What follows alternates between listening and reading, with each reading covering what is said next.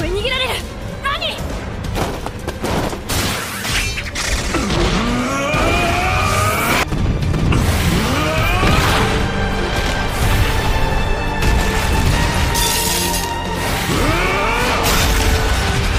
兄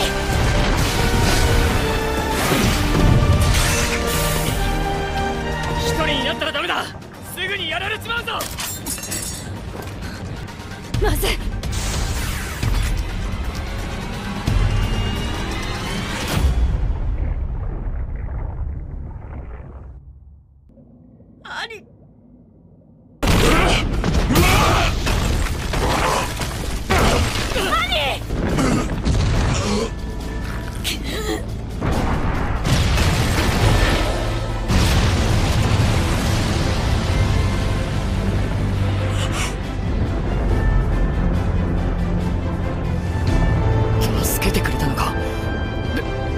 トルトが。わからない。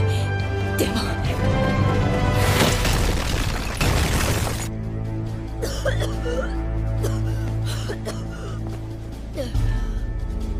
兄。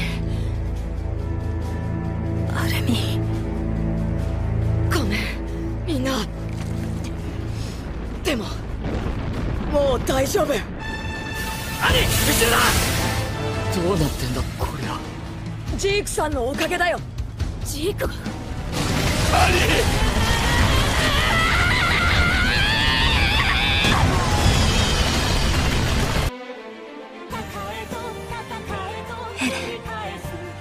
マフラーを巻いてくれてありがとう。